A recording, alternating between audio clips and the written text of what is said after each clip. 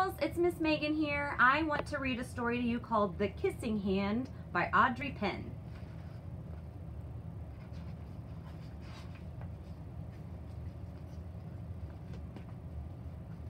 Chester Raccoon stood at the edge of the forest and cried, I don't want to go to school, he told his mother. I want to stay home with you. I want to play with my friends and play with my toys and read my books and swing on my swing. Please, may I stay home with you?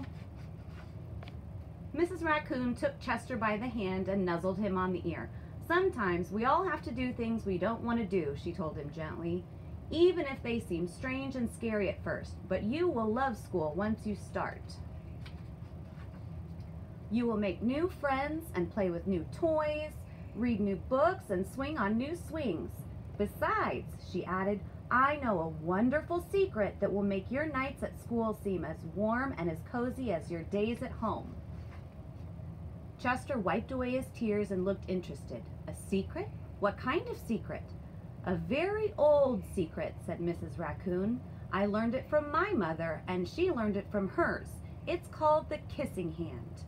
The kissing hand? asked Chester. What's that? I'll show you. Mrs. Raccoon took Chester's left hand and spread open his tiny fingers into a fan. Leaning forward, she kissed Chester right in the middle of his palm. Chester felt his mother's kiss rush from his hand, up his arm, and into his heart. Even his silky black mask tingled with a special warmth. Mrs. Raccoon smiled. Now, she told Chester, whenever you feel lonely and need a little love from home, just press your hand to your cheek and think, Mommy loves you. Mommy loves you. And that very kiss will jump to your face and fill you with toasty warm thoughts. She took Chester's hand and carefully wrapped his fingers around the kiss. Now, do be careful not to lose it, she teased him. But don't worry, when you open your hand and wash your food, I promise the kiss will stick. Chester loved his kissing hand.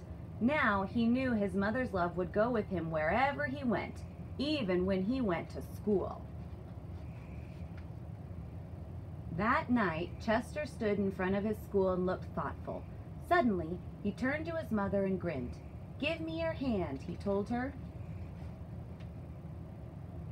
Chester took his mother's hand in his own and unfolded her large, familiar fingers into a fan.